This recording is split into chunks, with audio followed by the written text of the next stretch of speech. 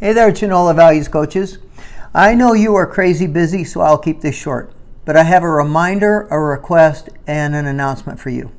Here's the reminder the work that we have been doing together for the past couple of years, at least in part, was to prepare you for this challenge that you're facing now today. We all know it is easy to keep the pickle pledged when the, the complaints are minor, to be self empowered when the challenges are simple, uh, to live your values when the sailing is smooth.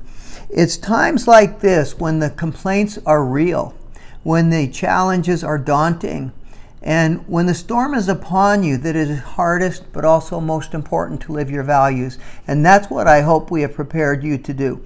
And not just prepared you personally, pre- prepared you to help your CHNOLA colleagues and to help your families at home to be strong and to be positive during this crisis. That's my reminder.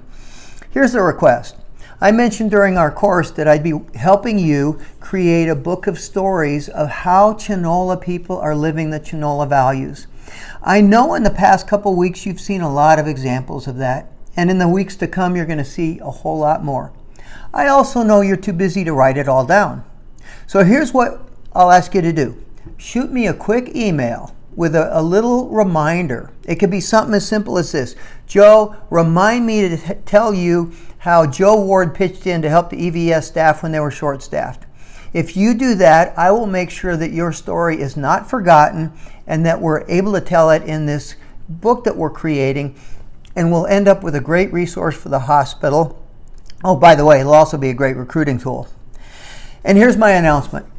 Like you, every hospital we work with uh, has been canceling classes, canceling meetings, um, and until this pandemic is in the rearview mirror, they're not going to start up again. So, to help all of our values coaches in every organization stay positive and stay connected, every week I'm going to be sending out a short video or webinar or document of some sort. I'm going to try to keep them all to three minutes or less on some aspect of the course. And I hope that will help you stay refreshed and connected. And if there's something in particular you'd like me to cover, send me an email and I will cover it. And feel free to share them with anybody else at work or at home that you think could benefit. I'm sure you've heard the saying that it's a shame to waste a crisis. And we're in one now. Let's all come out of this crisis somehow stronger, somehow better than when we came in.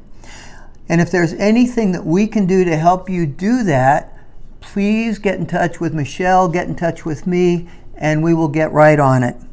Thank you for all you do for the kids, for the families that you serve, for the community you serve.